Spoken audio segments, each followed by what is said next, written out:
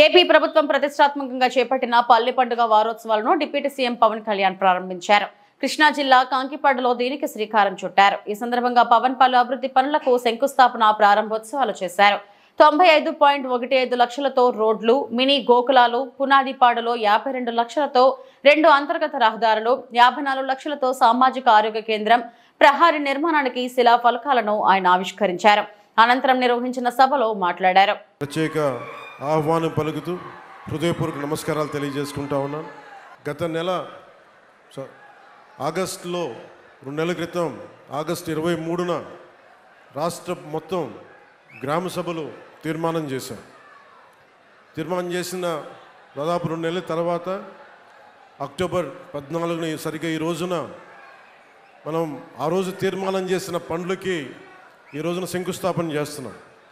ఈ శంకుస్థాపన చేసిన పండ్లు ఈ సంక్రాంతి లోపే అయిపోవాలి. అయిపోయిన తర్వాత మళ్ళీ కొత్త పనులకి శ్రీకారం చుడదామని ఒక లక్ష్యంతో ముందుకెళ్తున్నాం. ఒక పని మొదలు పెట్టడం చాలా తేలిక. ఆ పనిని పూర్తి చేయడం చాలా కష్టం.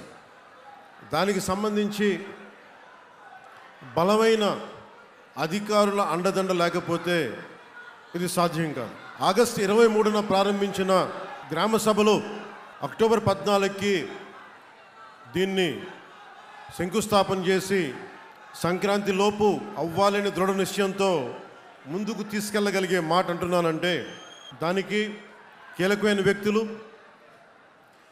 శ్రీ శశిభూషణ్ గారు ఐఏఎస్ అధికారి ప్రిన్సిపల్ సెక్రటరీ పంచాయతీరాజ్ శాఖ అలాగే కేరళ నుంచి ప్రత్యేకంగా ఆంధ్రప్రదేశ్కి తనదైన వంతు సహాయం చేయాలని ముందుకొచ్చిన విఆర్ కృష్ణతేజ గారికి కమిషనర్ పంచాయతీరాజ్ మరియు గ్రామీణాభివృద్ధి శాఖ అలాగే డికే బాలాజీ గారికి అనుక్షణం కృష్ణా జిల్లా గ్రామంలో గ్రామాల్లో ఏ కష్టాలు ఉన్నాయి అనుక్షణం నాకు ఎప్పటికప్పుడు ఆయన సమస్యలు నాకు తీసుకొస్తూ ఉంటారు.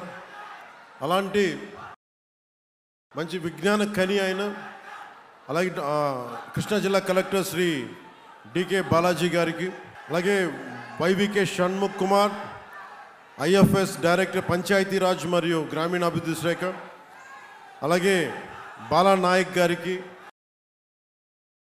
అలాగే శ్రీ విజయ్ కుమార్ గారికి మనస్ఫూర్తిగా నా హృదయపూర్వక నమస్కారం ఈ అధికారులు వీళ్ళెవరు కనుక పంచాయతీరాజ్ శాఖ కానీ ఈ సంబంధిత పది శాఖలు కనుక లేకపోతే ఇవి పూర్తి చేయడం చాలా కష్టమైపోద్ది. ఈ రోజున పంచాయతీరాజ్ శాఖ నాలుగు వేల ఐదు వందల కోట్ల రూపాయలతోటి మనకి గ్రామ సభలు తీర్మానం చేసి ముందుకెళ్తున్నామంటే ఇక్కడున్న శాసనసభ్యులతోటి గౌరవ ఎన్డీఏ శాసనసభ్యులతోటి కలిసికట్టుగా మాకు అండదండగా ఉన్న అధికార యంత్రాంగానికి కూడా ప్రత్యేకంగా నా కృతజ్ఞతలు తెలియజేస్తున్నాను. ఇంత బలంగా మేము చేయగలుగుతున్నామంటే రెండు వేల పంతొమ్మిది నుంచి రెండు వేల ఇరవై నాలుగు వరకు మా అందరి ఆకాంక్ష ఒకటే. ఆంధ్రప్రదేశ్లో ఉన్న కోట్లాది మంది ప్రజలు ఐదు కోట్ల మంది ప్రజలు బాగుండాలి. యువతకు ఉపాధి అవకాశాలు రావాలి. పల్లెల్లో వెలుగు రావాలి. దీనికి కూటమి పార్టీలకు అతీతంగా తెలుగుదేశం పార్టీ జనసేన భారతీయ జనతా పార్టీ అందరం సమిష్టిగా వచ్చి నిలబడ్డాం. ఆ రోజు మేము గెలుస్తామో లేదో తెలీదు. ఓడిపోవచ్చు కూడా. కానీ ఎందుకు నిలబడ్డామంటే తప్పులు జరుగుతున్నప్పుడు ప్రజలు కష్టాలు ఉన్నప్పుడు